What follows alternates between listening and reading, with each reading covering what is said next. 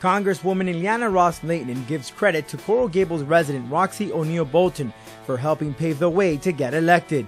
I know I'm here because of the struggles of Roxcy O'Neal Bolton. I didn't get here just by accident. She fought for my right to get elected. Both women celebrated Women's Equality Day at the Women's Park in the city of Sweetwater. But the public was invited to a treat as those who attended paid homage to the Coral Gables activist. In her day, were, very were somewhat controversial uh, issues in terms of women's rights, but she was on the right side. History Miami presented an exhibit, pictures, and even an American Red Cross dress Bolton wore in World War II was on display. Former Democratic governor candidate Alex Sink spoke about Roxcy's efforts. Bolton's son was overwhelmed by the support.